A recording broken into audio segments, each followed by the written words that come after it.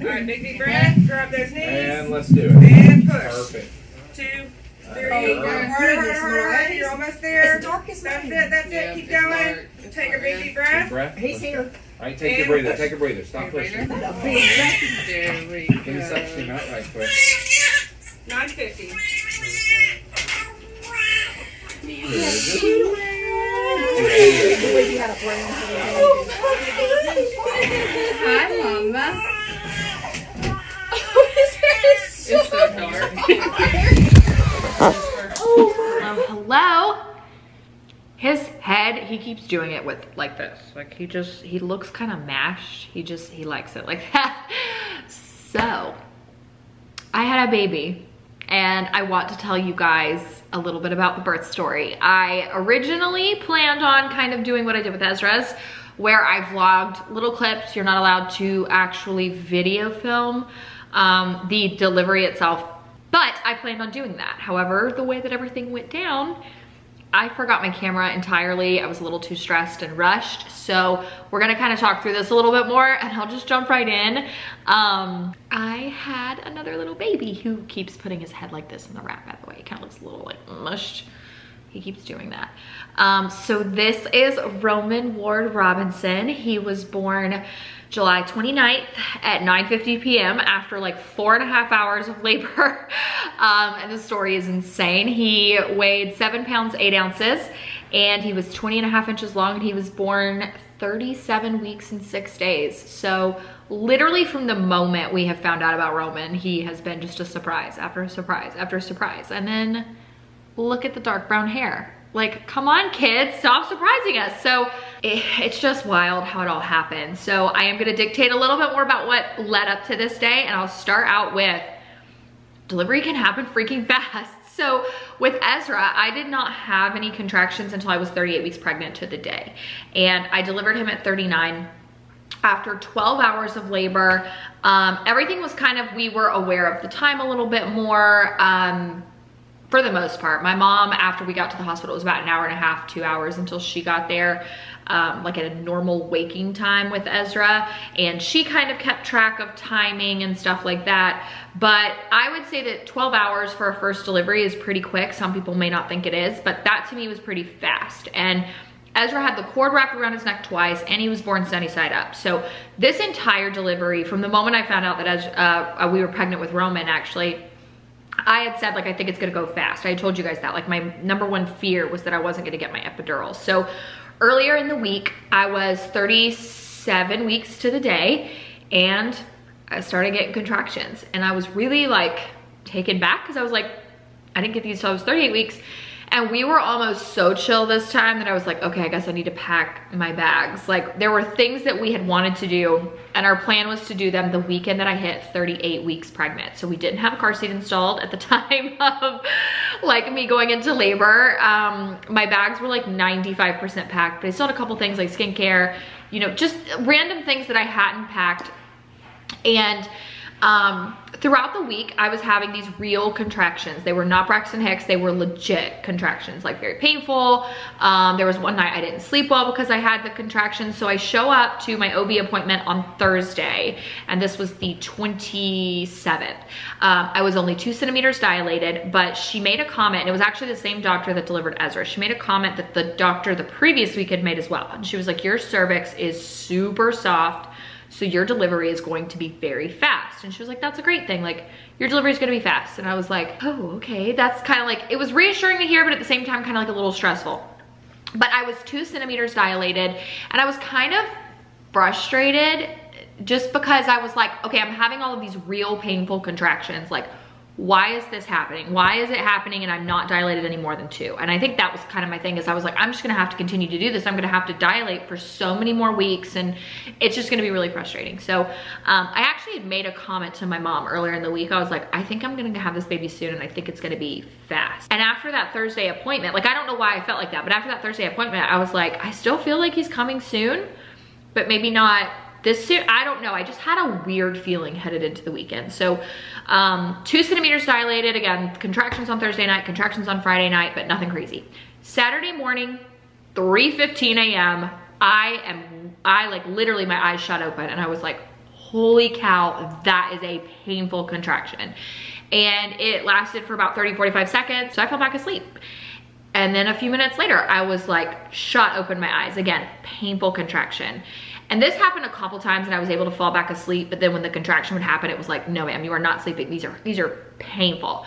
So I started timing them. They're about 15 to 20 minutes apart. This went on for two hours until roughly five. I decided to get up, go shower. I was like, your hair's dirty, do your nails, you know, do something that can distract you. But part of me was like, maybe this is it, maybe this isn't it. I don't know. 15 to 20 minutes apart is not active labor, um, but I took a shower. It did not help my back pain at all. It did not help the contractions like ease off at all. Um, pain wise, like I could, it was just so, so painful. So I let Sam sleep. I was like, I think, you know, this could be it. So got up, did my nails. Um, let my hair air dry, went out on the back porch, continued to just track these contractions to see if they got any closer, still 15 to 20 minutes apart. Finally, Sam and Ezra wake up and I told him, I was like, listen, I'm having contractions. I don't know if this is it, but I'm I'm like really, I'm struggling today. Like this is, these are really painful. And funny enough, he like panicked. He had done this with Ezra whenever I got really bad contractions. He like panicked and he started like hanging shelves in the house. Um, so something in me was like, why don't you just have breakfast with Ezra today? Like we usually do Sunday morning breakfast as a family. It was like, why don't you just have breakfast with Ezra? We'll do Saturday breakfast instead of Sunday. So we're making breakfast, contractions still going. And I had like seen something one time that said like pineapple can help induce labor, not induce labor, but like pineapple can help something. And I was like, all right, let's give it a shot. Like these are definitely real 15 minutes apart still. We're sitting at like, at this point, it's been probably four hours I've been having these contractions. Um, so I ate some pineapple. We actually, Ezra was the big reason because we've been trying to give him more fruit. So like kiwi and pineapple and he, I opened the fridge and he like reached in trying to grab the pineapple. So I was like, let's eat pineapple. Contractions come to a screeching halt. And I was like, are you freaking kidding? Four hours of this. I have been up since three in the morning. No contractions now, nothing. Not the first twinge, not the first cramp, nothing. I was so mad because I was like, I really thought this was it. So we clean up breakfast and it's finally like, you know, 10, 11 o'clock. Ezra goes down for his first nap. So I said, Sam, I'm going down for a nap too. I'm tired. We have a birthday party later. We have date night later because it was our last date night before a baby. And I was like, let's, let me just take a nap. I've been up since three. I'm exhausted. I don't have any contractions, so I'm going to sleep fine. Let me take a nap. So I take a nap, two hours roughly, because I woke up two contractions and I was like, good freaking Lord, are you? Contractions again? And I did get a two hour nap, so I felt really good, but immediately I noticed they were coming faster and I was like, okay, is this it? So I start timing them and we're sitting at about eight minutes apart, which is significantly closer. And we actually had a birthday party to go to for our very good friends. Their daughter turned one on August 3rd and they had texted us months ago and said, we're actually having her birthday the weekend before. Hopefully Moriah hasn't delivered. You know, we would love for you guys to come if she's, if she's up to it. Um, like I would not miss this little girl's first birthday for nothing. And so I was like, you know, we're going to this birthday party. So I start getting ready, contractions, eight minutes apart. I mean, I'm talking eight, eight, eight, just like so continuously. No doubt about it. They're eight minutes apart, roughly like 30 to 45 seconds. Biggest difference was I had been, this might be TMI, constipated. Yeah, I had been constipated all week long. And all of a sudden I was like sprinting to the bathroom every 10 minutes. And when I told my mom that, I was like, mom, I'm having contractions like eight minutes apart and I cannot stay off the toilet. Like that's so TMI, but I was like, I cannot stay off the toilet. And I was like, and I was constipated earlier this week. And I don't know if it was just the fact that she's had babies or the fact that she was a labor and delivery nurse, but she was like, oh, this baby's coming today. She was like, I'm actually gonna go ahead and get ready. We have dinner plans as well later, but you're having this child today. Like my mom even told me, she was like, it's a great day to have a baby. You will be having this baby today. It is, it is happening. And I was just like, but my contractions are eight minutes apart. She was like, nope, it's happening. You're having the baby. So still contracting, end up going to the birthday party and I was dead silent the whole time. Like we got to the party and I was like greeting everyone, hey. And then I would like kind of just like walk off into the distance and like stand there and stare at a tree for a second. And I tried to be as discreet as possible because I was not about to mess up this little girl's first birthday party. And I did not say a word to anybody. I was just like, I am, this is labor. It is happening. I'm having contractions every eight minutes. Like I do not want to say anything, but I want to see this sweet little girl. I want to, you know, celebrate her birthday. And finally I had to tell one of our friends, our, our like whole friend group was there. And finally I looked at one of the girls and I was like, I think I'm in labor. So if I just like stop talking all of a sudden, that's why. Eight minutes apart, this is nothing. Like we are still, we are, we are not hospital bound yet. And like 30 seconds after I say that, six minutes apart, contractions for 35 to 30 to 45 seconds, six minutes, 30 to 45 second contractions, six minutes, 30 to, and I was like, okay, wait, hold on. we might need to leave. So I ended up using, it's called the contractions app or the contractions timer. And the one thing I will say is that was like, it was telling me, it's like, you need to go to the hospital, go to the hospital, go to the hospital, six minutes apart, go to the hospital. And I told Sam, I was like, I was told by two doctors, two separate weeks apart, that my cervix is soft, that labor is gonna go fast, we gotta go. So finally I told the parents of the little girl, I was like, listen guys, we gotta go, I'm so sorry, I think I'm in labor. They were of course so excited and so precious, but um, that was when I think things got a little bit like stressed out, like stressful for me. So we come home immediately, or no, we dropped Ezra off at my parents first. Again, we were going on a date night this night. So my parents already had planned to keep Ezra, which was great. So we dropped him off, came back home, and we were like rushing. We didn't have a car seat installed. Um, thank God Sam knows how to do that quickly. I did not have the rest of my bags packed. I mean, I was just sitting here like six minutes, six minutes, six minutes having these horrible contractions. And so I'm just rushing because I'm like, at any point in time, these are gonna start being minutes, just like a couple minutes apart. And I'm gonna have this baby on the side of the road. So I end up, we throw our bags in the car, he gets the car seat installed, um, and we just take off to the hospital. So we pull in, tell triage, we do the whole thing, go in, and immediately they're like, we have to check you, you know, we're gonna hook you up to the monitor. And I could tell that they did not have a sense of urgency after they saw the monitor for a couple minutes. And so she checks me and she was like, she's at a two. I don't really know, you know, anything, we're gonna have to wait. So they monitored me for one hour and that's what she told me. She said, it's 345 right now, you're at a two centimeters dilated, like, you know, we're not sure this is it, so we're gonna wait an hour and we'll check you again for any change. And that's what she told me. She was like, we're gonna check you for any change, not just dilation, anything. And we'll let you know. I was like, all right. But I could just tell they didn't think it was it. Again, I sent my mom a picture of the like paper and she was even like, I don't know if this is it. So sure enough, they space out to about eight minutes apart as soon as I got there. And I was so frustrated. I wanted to cry. I was like embarrassed. I was like, I'm literally one of those people who's sitting here like wasting their time taking up a bed. And sure enough, oh my God, so many people gave birth that weekend because our pediatrician's office was slam full of newborns. Like they told us they had like nine newborns to see that day. Like they were busting at the seams and I was like, I'm just taking up a bed.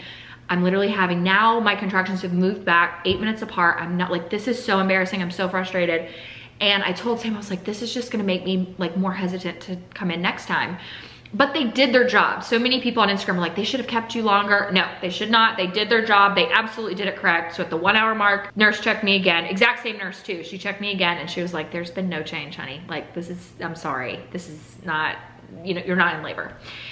And I was so frustrated and I was just like, oh my God, like I am in so much pain my contractions are still eight minutes apart at least, like six to eight, and they're so painful. And the midwife came in and she was like, listen, you're still a little bit too comfortable looking in your face for this to be labor. She was like, this isn't to say that it's not gonna happen soon. She was like, this just isn't it. And she was like, but we're always here. If you think that you're in labor, please come back. She was like, if you think your water broke, come back. So I was just like embarrassed. This conversation is at 5 p.m. on the dot, you guys. 5 p.m. Okay? She tells me, come back if you need us. We are always here. They were super nice. They did not judge me. I did not feel judged, but I definitely was judging myself.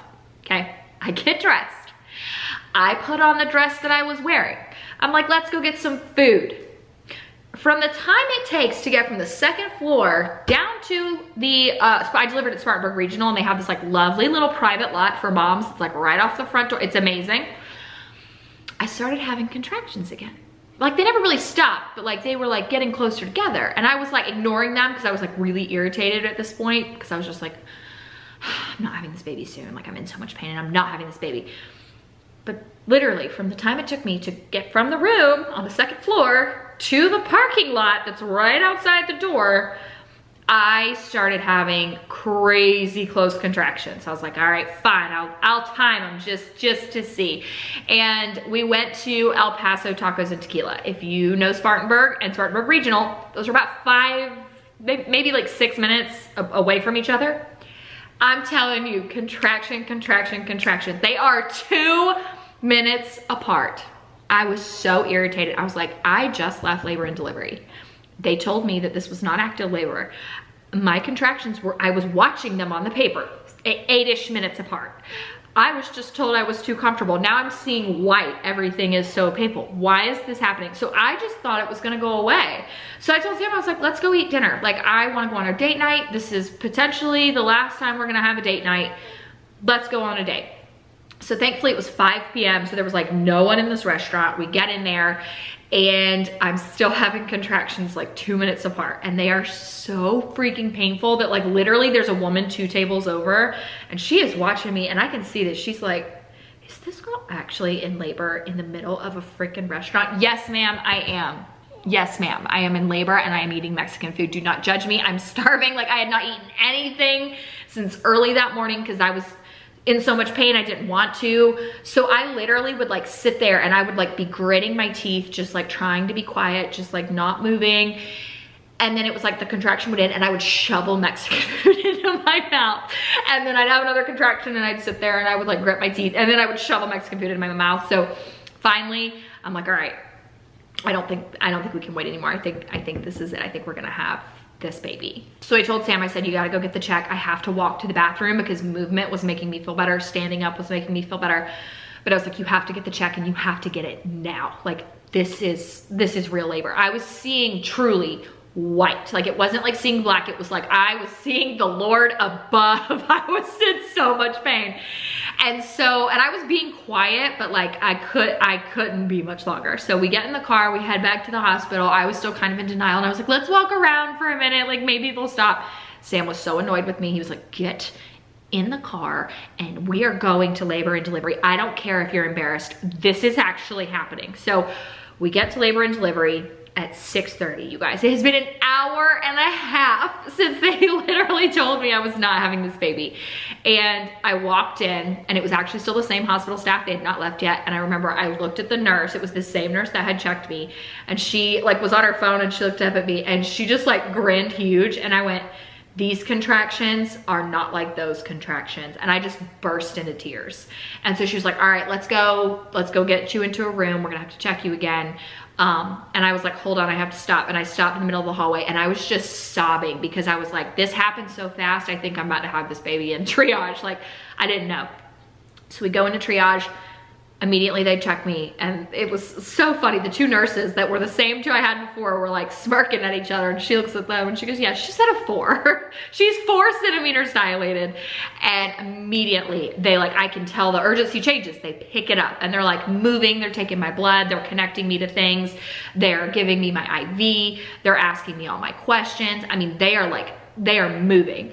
And so I, of course, am just still sobbing. And then I like would be in so much pain. I like could not be quiet. Like I was like groaning. It was just really bad. Um, because by a four with Ezra, like I tried as long as I possibly could to wait for an epidural with Ezra. I asked for it at three and then they checked me like within a couple mm. minutes of getting my epidural with Ezra and I was at a four. So like to come into the hospital and be actively at a four, I knew it was gonna be much longer until I got my epidural. So I was like, really, I was really stressed. And I was just so upset. I was like, I am not gonna be able to get this epidural. Like my mom's not here. What, baby? I was like, my mom's not here. Like, get my mom here now. I, you know, I'm just so stressed out. So finally this sweet little nurse comes in and she goes, listen, she was like, kind of walking me through everything that was about to happen. She was like, this is your room number. So if you wanna go ahead and tell whoever else is coming, um, you know, so that no matter what, whether you're able to communicate with her or not, you know, she can know what room number to be in. And I was just like, I still, I was still sobbing and I looked at her and I was like, I'm just afraid I'm not gonna be able to get my epidural and that's like what I want because I, I, I like loved my first delivery with my first son because I wasn't in pain. And she was the first one, she like stopped and she was like, honey, listen, you are at four centimeters dilated. She said, but you're not thinning as fast as you're dilating. She was like, so that's gonna buy us some time. And I was like, but I just want my epidural. And she literally looked me dead in the eyes and she was like, I promise you, we are going to get you your epidural. So I felt a little bit better after that. She did tell me, she was like, we have to wait for your platelets to come back before we can give you epidural. By the time we get to your room, you will have that.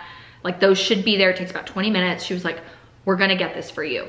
So I end up going to the room. They had just done shift change. So it's like right at seven o'clock. And the nurse and I didn't really have time for warm fuzzies. Like she was very much so already in like this girl is going to have this baby soon mode. Um, so she was really quiet for a while and just like did not talk a lot. She was just like focus mode, getting everything ready.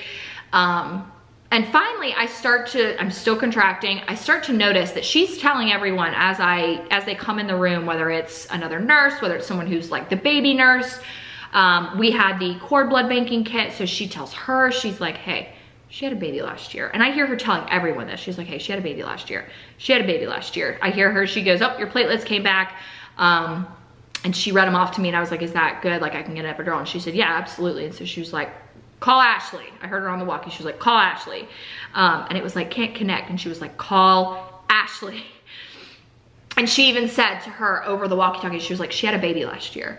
So finally I'm like, what's the deal? Why, why is she saying this to everybody? So I asked her, I was like, is there a reason that like, is that important as far as like labor goes? Or is it just like, you're just updating them on history? Like, what is it? And she goes, um, and I could tell she like didn't want to tell me, but she goes, it's it's just that like when you've had a baby, like the closer to, together your babies, the faster your delivery goes. And I was like, oh, oh, okay, great. So like she didn't even, she had not even checked me, nothing. She just knew I was at a four previously. Um, so she's telling everyone and they're all like, oh, okay. And everyone's sense of urgency is like, quick, quick, quick. Finally, sweet Ashley comes in. I could pick that woman out of a lineup of a million people and gives me my epidural. And um, she, the actual, the nurse was having some computer problems. So she stayed and was like talking with me for a few minutes, making sure that, you know, I was adjusting okay to it. And it was like as soon as I got the epidural, I could just breathe. Like I could relax. Um, they checked me again and I was at seven centimeters, you guys. At this point, it's like, I think it was right at 8.30 by the time I got my epidural. So I had been laboring like for two hours. It actually took a lot longer than I realized after I got to the hospital. Like from the time I got to the hospital till I got my epidural was two hours. I was seven centimeters dilated and I was just like, oh, okay, I can breathe now. And so finally I was like, okay, we can have, we can have time for the warm fuzzies, me and my nurse. And then um, I kind of settled down a little bit. I wasn't as emotional and grunty. And I asked her, I said, can we have the doctor actually come just break my water? Because I knew that, you know, the water, um, when they broke my water with Ezra, that's when my contractions really changed and um, just like, it kind of just made a difference. And so I was like, can we have the doctor come break my water? And she was like, well, your doctor's not here yet. He's on his way. But we can have the midwife come in um, and break your water. And she was the same one I had had earlier. And she like laughed. She was like, I just knew you were coming back. She was like, I can't explain it. I just knew we would be seeing you again. I just didn't know it would be this, this fast. So she comes in, she checks me, breaks my water. And she even was like, oh, she's like, she's here. She's gonna have this baby within the next like hour. And it was about 8.30. She was right. Um, Doctor Friendly gets there, we're chatting, he's just super nice, and he asks, you know, where was she at last time? And she's like, I haven't checked her again, but she was at a seven, you know, just a few minutes ago. And he goes, okay, I'm gonna go grab a snack, let me know when it's time. So he goes and grabs a snack, and um, finally I asked her, I was like, can I sit up? Like, I just really wanna sit up in bed. And she was like, yeah, absolutely. So she sat me up, and um, yeah, she had not checked me yet. So she sat me up, and so I was like sitting vertically, chatting. My mom had already come in at some point in time, I don't know when. And even my mom was like, this is the most chill labor and delivery ever. Like now that you've had your epidural, like this is, this does not feel like delivering a baby. You're so calm. And she was like, we're all just like laughing. And the doctor came in and was like telling stories. Like she was like, this just doesn't feel like labor. Finally, at about 9 30-ish, I started to feel some pressure and um, oh, it makes me emotional. So I started to feel some pressure. So the nurse comes in and I hear her over the thing and she goes, hey, we're about to start pushing in, you know, room 207 or whatever. And she was like, can you, can you guys come in? And the room, you know, filled with, it was her, my baby nurse, so Roman's nurse, the doctor, and then there were two women who were dedicated to doing our cord blood banking. And then my mom and Sam. And she like came around the bed and she was like, do a practice push. And I practice pushed and she literally jumped up and she was like, no, no, no, okay, never mind. You don't need to do that. Just wait until the doctor gets dressed. Like, you don't need to practice push. You are good. And um, he went and stood at the foot of the bed and he was like, all right, just take a deep breath in and breathe out, like just push. And Roman was born. And it was like the most incredible thing ever. Like, I loved my delivery with Ezra. I did, I mean, I had to push really hard, but it was really quick.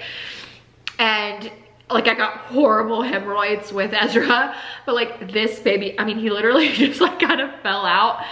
And I remember just looking down and I saw his little brown hair and I just could not believe that he was mine. Like I, it was the same exact thing I felt with Ezra. Like I just couldn't believe that like that child that I was staring at was my baby.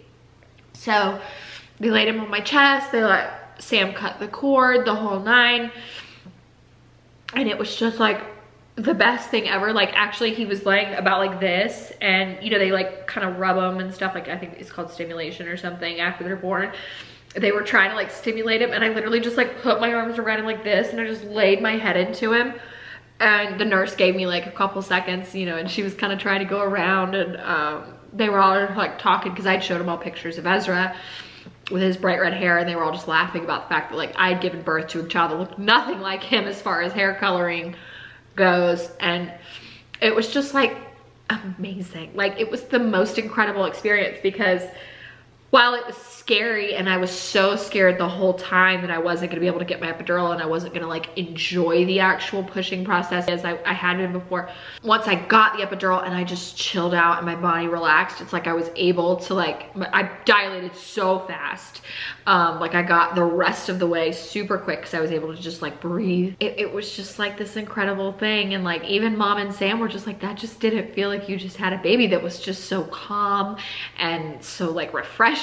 Sam did some skin to skin, you know, they took him and weighed him and they brought him back and I just like, I couldn't believe it. Like I just, I could not believe that this little baby that was a complete surprise. We had no idea I was even pregnant with him then came so early after being told he wasn't gonna come at all and I wasn't in labor and here I was just holding him and I was just in such awe that like I went from a birthday party to the hospital to dinner to having a baby like it was just crazy um but he passed all of his tests so beautifully. He did so well. I did well. So we were able to actually go home the next night. He was born at 9.50 p.m.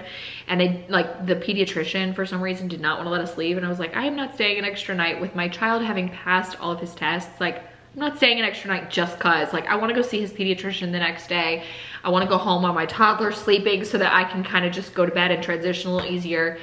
Um, and it was amazing. But Ezra did get to meet him in the hospital. He was a little uneasy at first like he didn't want to sit next to him at first but he definitely was interested like in what what is that that looks like a baby kind of like that looks like a human but i don't know once he realized like it moved and mommy and daddy are holding it. He kind of did warm up. And then of course you know as i'm filming this it's i'm like nine days postpartum and he's just absolutely loves roman so much. He just like all the time is bringing things to him and giving him his pacifier out of his mouth um because he doesn't understand that like the baby can't take his pacifier um he brings me the sound machine whenever the baby's crying like he is so smart he brought me my water the other day brought me my boppy pillow the other day when i was nursing like he is just the sweetest baby so Roman has been an absolute dream from the moment that we found out he was in my belly and since the moment we got him outside, he's been even more perfect. Um, he's an easy baby, just like his brother. He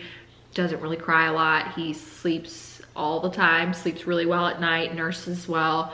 Um, but we just can't believe how it all worked out. Like, I think that's why I just keep saying like, I can't believe it because although Ezra was born 39 weeks, there was not as much of a dramatic lead up. like it wasn't this, no, you're not in labor. Oh yeah, you're at a four kind of thing, but it was beautiful. It was perfect. I would not change it for the world. And it was really a cool way to like book in the end of my pregnancy. Um, this is solidified for sure bringing home another baby that we are happy and content. I've told Sam so many times over the past week that this is like my heart has never been this full and it's a very strange feeling to look around and know that I am living out the reality that I have, had always like dreamed of like my dream had always been to get married, to build a home, to have two kids. I've said that for so long. And here I am with my husband of five years. We just finished building our home two weeks before I gave birth to our second baby. And I was like, I'm just so happy. Like my heart is just so content. My heart is so full. So Roman has been just like the best, like most complete part to our family and I hate so badly that my Nana did not get to meet him. I'd like to think that she did, you know, give him a little kiss before he came down um, to meet us.